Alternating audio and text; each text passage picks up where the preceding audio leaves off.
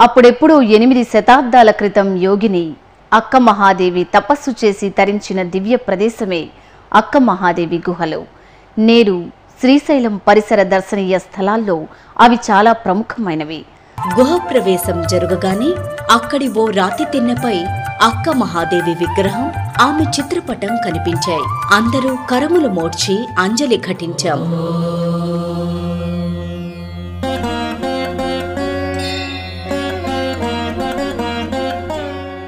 కుడివైపు వరండా లాంటి ప్రదేశంలో ఎవరో పరమశివుణ్ణి ప్రతిష్ఠించి ఉన్నారు.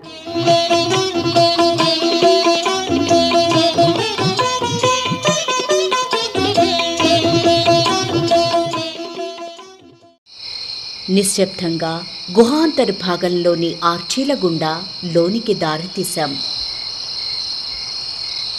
కటిక చీకటిలో మలుపులు తిరుగుతూ ముందుకు వెళ్ళాం.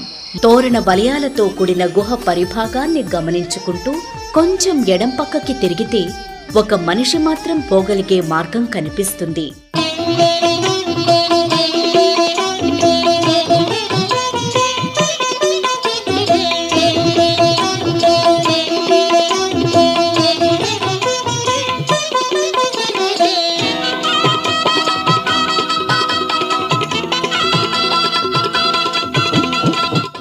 అలానే సాగి వెళ్ళి కుడివైపు మళ్ళితే మనలను నిశ్చేష్టుల్ని చేస్తూ ఒక సహజ సిద్ధ శివలింగాకృతి. రెండుగా విచ్చుకున్న రాతి బండల నడుమ విప్పారిన మల్లెచెండుల శివలింగ స్వరూపం. ఓం హర హర. శంభో శంకర. అంతర బహిర్ప్రాకారాలు గాలిగోపురం ముఖమండపం ఆస్థాన మండపం అంతరాళం దాటివచ్చి గర్భగుడి చేరిన అనుభూతి. మా ఉచ్ఛ్వాస నిశ్వాసాలే శివ పంచాక్షరి మంత్రాలుగాను అనిపించాయి. ఓం నమ శివాయ.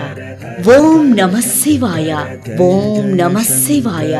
హర హర మహాదేవ శంభో శంకర. శంకర హర హర శంకర జయ జయ శంకర హర హర శంకర జయ జయ శంకర. అక్క మహాదేవి గుహో పరిభాగాన శ్రీ గణేష్ స్వామి ఆశ్రమం ఉంది. కర్ణాటక రాష్ట్రం బీదర్ గణేష్ స్వామి స్వస్థలం. ప్రస్తుతం పరమపదించిన తమ గురువర్యులకు గుర్తుగా ఆయన శిష్యులు గణేష స్వామి వారి విగ్రహాన్ని ప్రతిష్ఠించుకున్నారు.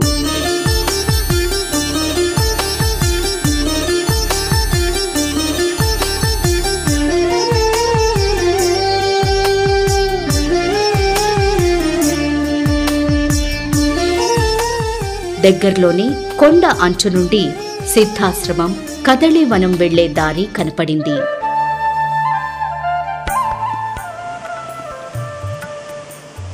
కదళీవనం చేరుకోవాలంటే అడవిలో ఆరేడు కిలోమీటర్లు ప్రయాణించాలి. అక్కడ పురాతన గుడి గోపురాలు మండపాలు భౌగోళిక శిలా ఇంద్రధనువులు తారసపడతాయి. భగవాన్ శ్రీ దత్తాత్రేయుల వారి పాదపద్మాలు కూడా వెలిసి ఉన్నాయి.